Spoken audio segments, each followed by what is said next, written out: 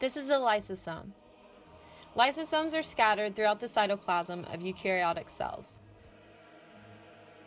Lysosomes participate in two basic functions autophagy and crinophagy. Autophagy literally means self eating.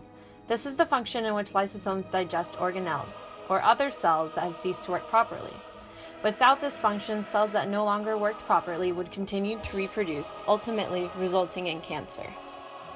Lysosomes also play a critical role in our immune system. They digest macrophage, which are the tissue form of white blood cells.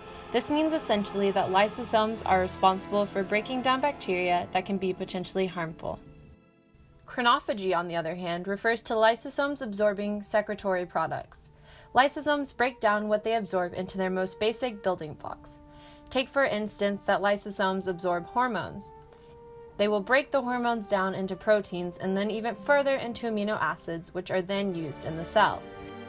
Peroxisomes, lysosomes' partner in crime, is present in three basic functions breaking down hydrogen peroxide byproducts, detoxifying substances in the liver, and cholesterol synthesis. Most important among these is the breaking down of H2O2. Although hydrogen peroxide is a very common byproduct, it can be extremely harmful to the cell. Peroxisomes contain the enzyme catalase, which breaks down this H2O2 into water and oxygen, which can safely be used in the cell. Vote today for lysosomes and peroxisomes. We pick up the slack of other organelle politicians. We literally eat the competition for breakfast. We're recyclers. We give everything back. We turn harmful or excess substances into vital resources. We are the selfless servants of the common good. And without us, you would have cancer and liver failure. The nucleus and nucleolus think that they can count on your vote, but those aristocrats have been benefiting off the membrane breaking labor of the lower class organelles for ages.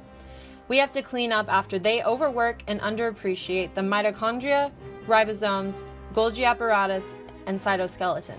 These organelles do not receive gratitude under the nucleus's tyrannical rule. We may prevent cancer, but the nucleus is the one that tells the cancer cells to duplicate. We are the solution to their problem. The nucleolus makes up everything.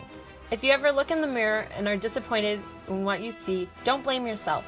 Blame the DNA that the nucleolus created. Together, we can overcome nucleic tyranny and start a revolution.